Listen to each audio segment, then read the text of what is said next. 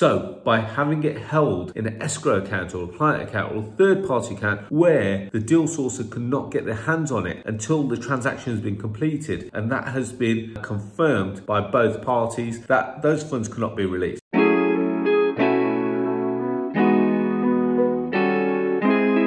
Hi guys, it's Arsh Ellahi and in today's video, one of the questions that I get asked quite a lot is about deal sourcing and when do you get paid? And more importantly, how does that work? So I'm gonna try and take you through on a step-by-step -step process. Now, before we do that, I need a small favor from you. If you wouldn't mind hitting the subscribe button and the notification bell, every time I release a video, you get to get notified of it. Now, as you may be aware, this channel is sponsored by the Property Investor app, which is the UK's first property investment platform, which showcases all kinds of deals all over the UK. Whether you're looking for that below market value deal, that rent to rent deal, that lease option deal, we've got them all there. Now, there are two ways to get involved. You can either go to our website, which is propertyinvestorapp.co.uk, or if you've got a smartphone, go to the App Store, type in Property Investor and download it from there. So deal sourcing, just a bit of a recap. If you've not watched any of my videos before, I'm gonna try and stick a little link somewhere up there where it can tell you what the basics of deal sourcing is all about. So what we are is almost like a glorified estate agent. I call us a glorified estate agent because it's not a new skill skill. All we've got is we've got a seller over here, we've got a buyer over here. We're trying to facilitate the sale. And as a result, we charge a fee from the center, whether you charge the seller or whether you charge the buyer, it's completely down to you. However, you cannot charge both because that is immoral. So I generally charge the buyer because it makes getting the seller on board a lot easier. So I generally charge the buyer and we charge a fee. Now, lots of people ask me, Arsh, when do you take the fee? Where do you hold the fee? And how does that work? Now, lots of ways to do this. Now, if you're on lots of property forums, lots of property investors aren't really keen on paying you a fee up front, not knowing who you are and what you're all about. So let's just imagine that you've just come off a property course and all of a sudden you become this phenomenal deal sourcer. That sounds all great, but you've not got a track record. So why would you expect someone to hand you three or five thousand pounds, not knowing who you are, but more importantly, they could find you and you're now sat on a beach somewhere in Barbados Barbados. Sounds great, doesn't it? No, but the reality is that why would they pay you that fee? Now, what have you done to deserve that fee? What due diligence have you done? How have you brought that deal together? Now, more importantly, for the protection of the buyer, you should hold what is called either a client account or you could use a system or a service like an escrow account. Now, escrow account is pretty much a third party intermediary account. And what that account does, it holds the funds so the buyer will put their the funds into the escrow account, which is set up by the deal sourcer. Now, there is a fee attached to this, and the reason why it's quite secure, it will put your buyer at ease, knowing that the funds are not sat in the deal sourcer's bank account. Because let's face it, the deal sourcer stops answering their phone tomorrow and they stop responding to emails. What's the recall on that?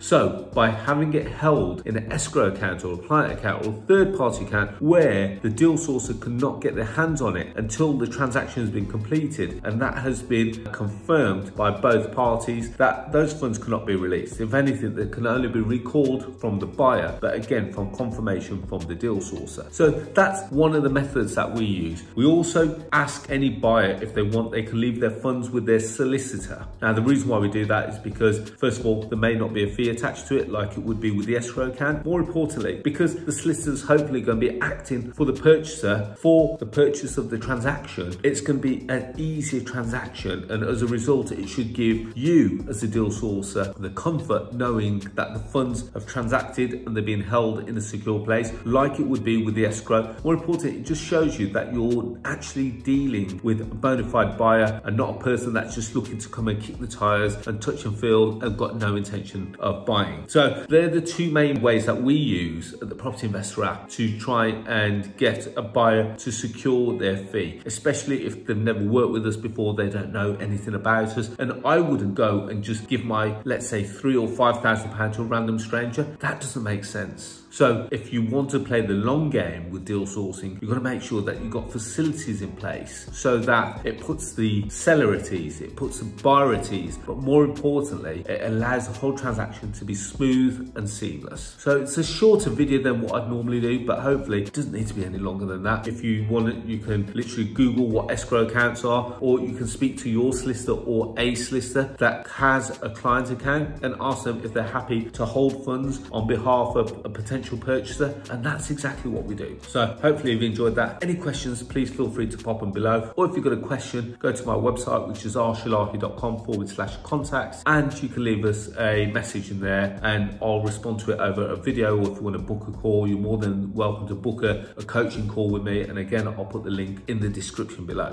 So if you like more free content like that, I release a podcast every Tuesday at 6 a.m. It's called The Property Rebel. Go and check it out. We've got it on Apple Podcasts, Google Podcasts, Spotify, Stitcher, just to name a few. As well as that, as you're aware, I'm on social media. I'm on Facebook, LinkedIn, Instagram, Twitter, Clubhouse, and TikTok, all under the handle of Arsh Ellahi. And finally, as I said at the start of this video, that this channel is sponsored by the Property Investor app, which is the UK's first property investment platform, which showcases all kinds of deals all over the UK. Whether you're looking for below market value deals, rent to rent deals, lease option deals, we've got them all there. Now, two ways to get involved. You can either go to the website, which is propertyinvestorapp.co.uk, or if you've got a smartphone, go to the App Store, type in Property Investor and download it from there. As always, guys, I wish you all to be safe, well and happy. Don't forget to hit subscribe, like, and I look forward to speaking to you all very soon. Thank you and bye-bye.